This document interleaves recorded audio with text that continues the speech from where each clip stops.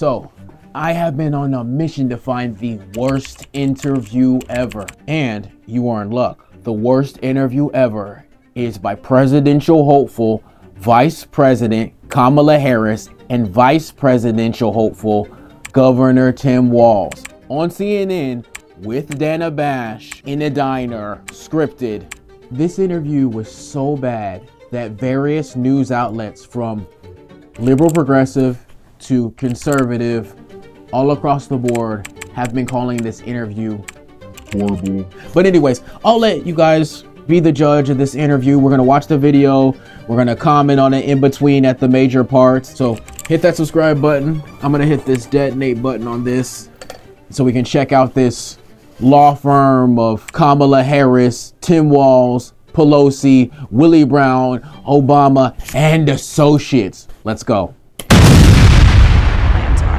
You are elected, what would you do on day one in the White House? I think sadly, in the last decade, um, we have had in the former president someone who has really been pushing an agenda and an environment that is about diminishing um, the character and the strength of who we are as Americans, uh, really dividing our nation. And I think people are ready to turn the page on that. Newsflash, Kamala, it's day 1685, and you still ain't done nothing but ride around in a bus because you like buses, stop at diners, and walk around with your emotional support animal, Tim Walz. But I wonder what you say to voters who do want to go back when it comes to the economy specifically, because their groceries were less expensive, housing was more affordable when Donald Trump was president. She says this. And I'm very proud of the work that we have done that has brought inflation down to less than 3%. The work that we have done to cap the cost of insulin at $35 a month for seniors. Donald Trump said he was going to do a number of things, including allowing Medicare to negotiate drug prices. Never happened. We did it. We did it, Joe. No, no, no, no. You didn't do it. And you said blah, blah, blah, blah, blah, blah, blah. You didn't say nothing. We maintain Bidenomics is a success. I maintain that when we do the work of bringing down prescription medication for the American people, including capping the cost of the annual cost of prescription medication for seniors at $2,000, when we do what we did in the first year of being in office to extend the child tax credit so that we cut child poverty in America by over 50%, when we do what we have done to invest in the American people and bringing manufacturing back to the United States so that we created over 800,000 new manufacturing jobs, bringing business back to America. What we have done to improve the supply chain so we're not relying on foreign governments to supply American families with their basic needs, I'll say that that's good work. There's more to do, but that's good work. That's good work. In 2019, I believe, uh, in a town hall, you said you were asked, would you commit to implementing a federal ban on fracking on your first day in office? And you said, there's no question I'm in favor of banning fracking. So, yes. In 2020, I made very clear where I stand. We are in 2024, and I've not changed that position, nor will I going forward. I kept my word, and I will keep my word. What made you change that position at the time? What do you have to say to that? Let's be clear my values have not changed. I believe it is very important that we take seriously what we must do to guard against what is a clear crisis in terms of the climate. And to do that, we can do what we have accomplished thus far. The Inflation Reduction Act, what we have done to invest, by my calculation, over probably a trillion dollars over the next 10 years, investing in a clean energy economy. What we've already done, creating over 300,000 new clean energy jobs. That tells me, from my experience as vice president, we can do it without banning fracking. In fact, Dana, Dana, excuse me, um, I cast the tie-breaking vote that actually increased leases for fracking Yeah. as vice president. So I'm very clear about where I stand. What? Why did the Biden Harris administration wait three and a half years to implement sweeping asylum restrictions? Donald Trump got word of this bill that would have contributed to securing our border, and because he believes that it would not have helped him politically, he told his folks in Congress, don't put it forward. He killed the bill. so you're telling me former President Donald Trump has more power than you do as vice president sitting right now? You are the vice president right now. You are the vice president right now. And you're telling me that Donald Trump had influence on a part of the government right now. So what does it say? That if you become president, Donald Trump won't have power over the part of the government. So what are we doing here? We're making up stuff, pushing the blame on other people.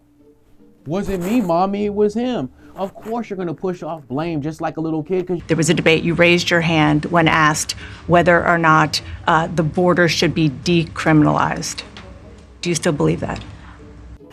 what did she say? I believe there should be consequence. We have laws that have to be followed and enforced that address and deal with people who cross our border illegally, and there should be consequence. And let's be clear in this race, I'm the only person who has prosecuted transnational criminal organizations who traffic in guns, drugs, and human beings. I'm the only person in this race who actually served a border state as Attorney General to enforce our laws, and I would enforce our laws as President going forward. I recognize the problem. You say you're the only person with that experience. Well, Donald Trump is also the only person with the experience of being president. Checkmate, mic drop, all of that. And why you flip flop? And even that immigration activist is mad at you for that. And now it has become about criminality, about drugs. And, and in this interview, she really accepted that. Then she was asked, Generally speaking, how should voters look at some of the changes that you've made? CNN even gave you an alley oop. Should they feel comfortable and confident that what you're saying now is going to be your policy moving forward? They wanted to be like, how can we kind of like wash this pig and present it and say good pig? How can we do how can we do that? Dana, I think the, the, the most important and most significant aspect of my policy perspective and decisions is my values have not changed. Your values have not changed. They haven't because remember you're talking about you gotta stay woke. You gotta stay woke. So yeah, your values have not changed. Yo, y'all let me know. Y'all let me know what you think. The, the most important and most significant aspect of my policy perspective and decisions is my values have not changed. You mentioned the Green New Deal. I have always believed, and I have worked on it, that the climate crisis is real, that it is an urgent matter to which we should apply metrics that include holding ourselves to deadlines around time. Chat, did you guys hear what she said? She said a deadline around time. It, do you I I don't know, maybe I'm missing something, but do any of you out there listening to the sound of my voice know of any other deadline that is not connected to time, not plugged into time? I want to know, does anybody know a deadline that is not connected to time? We did that with the Inflation Reduction Act. We have set goals for the United States of America and by extension the globe around when we should meet certain standards for reduction of greenhouse gas emissions as an example. That value has not changed. My value around what we need to do to secure our border, that value has not changed. I spent two terms as the Attorney General of California prosecuting transnational criminal organizations, violations of American laws regarding the passage, illegal passage of guns, drugs, and human beings across our border. My values have not changed. Will you appoint a Republican to your cabinet? And she said, Yes, I would. Of course, you're a politician, you're going to say that. Anyone Yes, in I mind? would. No, one- no one in particular in mind. I don't believe that. Do y'all believe that? Do y'all believe it? Let me know, because I don't believe it at all. What I want to ask you about is what he said last month. He suggested that you happened to turn black recently for political purposes, questioning a core part of your identity. Which she switch and flip flops all the time depending on who she's speaking to. And let me explain. A lot of times, if you're black and something else, what do you say, chat? I know I have some people out there who are black and something else. What do you say? You say, I'm mixed. You don't say, I'm Indian on a certain network because they ask you, Are you Indian? You say, I'm actually mixed. I'm Indian and black. I'm Indian and Jamaican. I'm this or that. So if Trump goes, hey, I don't know what she's going by these days. Some days she go by Indian, sometimes she go by uh, black, or sometimes she go by Jamaican. I don't know. Why are y'all even? Anyways, check out what she said. Any same old tired playbook. Next question, please. Same old tired playbook. So why don't you answer the question? Let's talk about some foreign policy uh, issues that would be on your plate if you become commander in chief. Uh, President Biden has tried unsuccessfully with, you know, Israel, Hamas, anything serious like this. Is she going to do anything different? We want to know. For example, would you withhold some U.S. weapons shipments to Israel? That's what a lot of people on the progressive left want you to do. Uh, let me be very clear. When they say let me be very clear, it's a lie. I'm unequivocal and, and unwavering in my commitment to Israel's defense and its ability to defend itself. And that's not going to change. But let's take a step back. October 7, 1,200 people were massacred. Many young people who were simply attending a music festival Women were horribly raped. As I said then, I say today, Israel had a right, has a right to defend itself, we would. And how it does so matters. Far too many innocent Palestinians have been killed. And we have got to get a deal done. So, what's your stance? Vice President Harris, you were a very staunch defender of President Biden's capacity to serve another four years. Right after the debate, you insisted that President Biden is extraordinarily strong. Given where we are now, do you have any regrets about what you told the American people? I mean, I don't know. This is it's going to be a surprise, a shocker what she's going to say. What did she say? No, not at all. Not at all. I have um, served with President Biden um, for almost four years now, and I'll tell you, it's one of the greatest honors of my career, truly. Um, he cares so deeply about the American people. He is so smart and um, and loyal to the American people. And I have spent hours upon hours with him, be it in the Oval Office or the Situation Room. He has the intelligence, the commitment, and the judgment um, and disposition. Relative to what we can do with more Border Patrol and more uh, asylum officers. President Trump?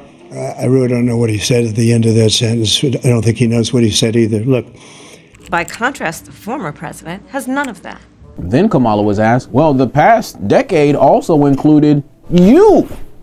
What did she say? The last decade, of course, the last three and a half years has been part of your administration. I'm talking about an era that started about a decade ago, where there is some suggestion, warped, I believe it to be, that the measure of the strength of a leader is based on who you beat down, instead of where I believe most Americans are, which is to believe that the true measure of the strength of a leader is based on who you lift up.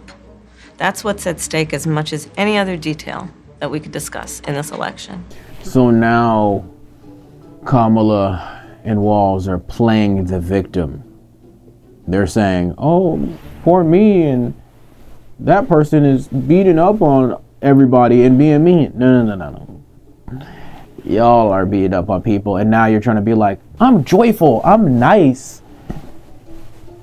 We see, we see, we've we've turned this thing inside out, and we see it's not about joy, it's not about niceness, because with that 90% turnover that Kamala Harris has, obviously a little bit of anger has been coming out. And then they go on to like, oh, how did Harris find out about Biden dropping out? When he called you and said he was pulling out of the race, mm-hmm. what was that like? And did he offer to endorse you right away or did you ask for it? It was um, it was a Sunday, so here, I'll, I'll give you a little too much information. Go for it. There's no such thing, Madam Vice President. Um, my family was staying with us, and um, including my baby nieces.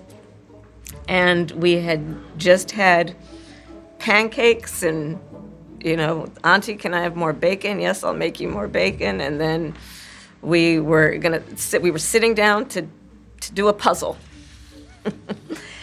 And the phone rang, and it was Joe Biden.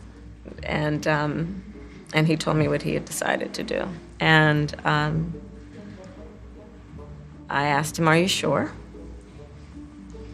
And he said, Yes. And, um, and that's how I learned about it. So the only thing puzzling about the situation is the fact that you're just chilling, playing a puzzle while the nation is in peril. That's puzzling. And Biden said yes. He said in a clear way. Okay, hmm. I just, I don't buy it. Do y'all buy it? And what about the endorsement? Did you ask for it? And he was very clear that he was going to support me. So when he called to tell you, he said, I'm pulling out of the race and I'm going to support you. Well, my first thought was not about me, to be honest with you. My first thought was about him, to be honest. So then, Tim Walz got a chance for his 10 minutes of fame. And Dana Bash didn't hold back with the questions. Dana Bash did. I gotta give her credit. She did ask some hard questions. Not all of them. She didn't really dig deep into the uh, DUI or anything like that. But she asked some hard questions. She asked about Tim Walz misspeaking. You said that you carried weapons in war. Tim Walz has never been in war. Did you misspeak as the campaign has said? Yeah, I said we were talking about, in this case, this was after a school shooting, the ideas of carrying these weapons of war. And uh, my wife, the English teacher, told me my grammar is not always correct, but He's only been in support operations in Italy. So his time in the service was mwah, chef's kiss. I, I won't apologize for speaking passionately, whether it's guns in schools or protecting of reproductive rights. Uh, the contrast could not be clearer between what we're running against. The vice president's position on this has been clear. And um, I think most Americans get it if you've been through that. Um, I don't think they're cutting hairs on IVF or IUI. I think what they're cutting hairs on is an abortion ban and the ability to be able to deny families the chance to have a beautiful child.